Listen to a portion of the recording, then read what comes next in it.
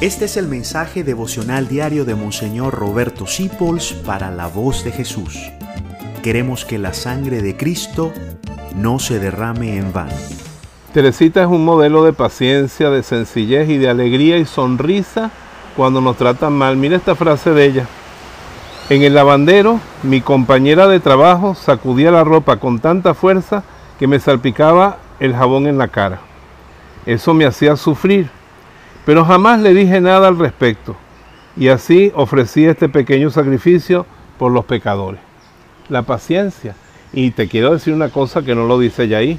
Lo que estaban lavando eran paños sucios, paños íntimos y, y sábana sucia. Y es muy desagradable que la otra persona sea tan insensible que salpique tu cara con esa suciedad.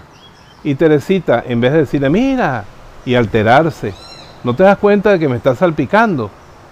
Callaba y ofrecía un sacrificio a Dios. Qué bueno es callarse en la casa, en la familia, en el trabajo.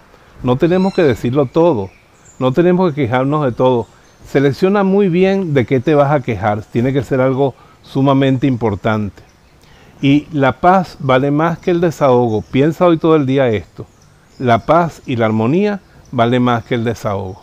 Hay cosas que se pueden ofrecer en silencio, como nos enseña Teresa del Niño Jesús. Te bendigo en el nombre del Padre, del Hijo y del Espíritu Santo. Y María te manda a decir, ten paciencia, que estoy yo aquí contigo, que soy tu madre. Gracias por dejarnos acompañarte. Descubre más acerca de la voz de Jesús visitando www.lavozdejesús.org.be.